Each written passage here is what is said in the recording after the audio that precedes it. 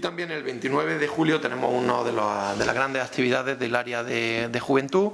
el campo de trabajo. Estamos ya en la séptima edición, un campo de trabajo consolidado y yo como concejal de patrimonio histórico también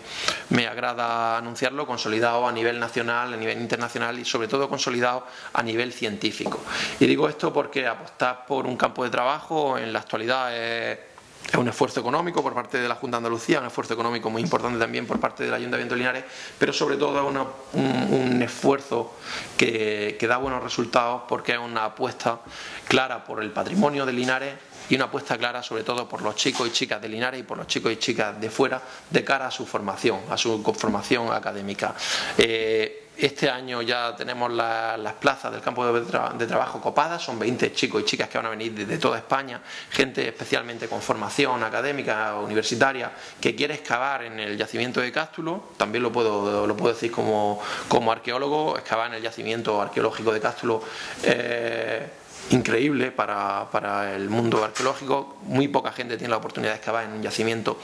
tan rico, tan diverso y todavía están inicialmente por descubrir y, como decimos, todas las plazas están ocupadas. Pero eso es lo que confiere a la parte de gestión del campo de trabajo externo, digamos, hacia los chicos y chicas que vienen de fuera de nuestra ciudad a conocer nuestro patrimonio y a trabajar en, nuestra, en nuestro campo de trabajo.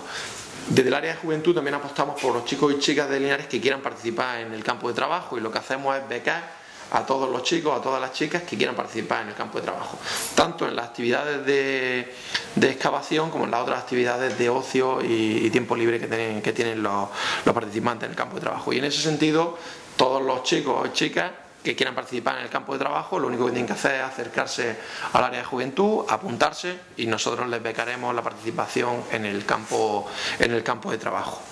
Eh, los objetivos que tenemos en este campo de trabajo es continuar con la excavación de ese excepcional mosaico que tenemos en lo que pensábamos que era el foro del, sitio arqueológico de, de, Linares, de la ciudad romana, y vamos a continuar ampliando la excavación para delimitar la sala en la cual se encuentra ese excepcional mosaico. Tenemos como, segundo objetivo, si podemos, excavar la puerta norte de, la ciudad. Si los trabajos se inician el 15 de julio de Fórum MMX van a buen ritmo, pues seguro que vamos a poder tener dos grandes noticias, que una es la excavación completa del mosaico, dos la excavación de la puerta norte de la ciudad y sobre todo vamos a tener la gran noticia de que gente joven se hace partícipe del proyecto arqueológico y gente joven recupera el patrimonio arqueológico de Linares.